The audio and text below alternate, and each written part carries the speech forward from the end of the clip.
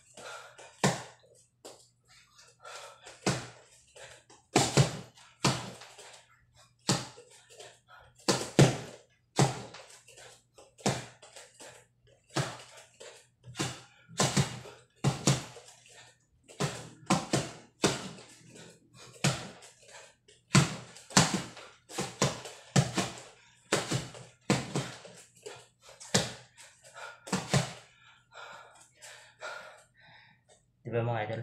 Unat na unat yung ating kamao. Di ganun kalakas yung tama natin. Pero pwede na rin. Kahit pa paano meron tayong pinagdibangan ng ating workout.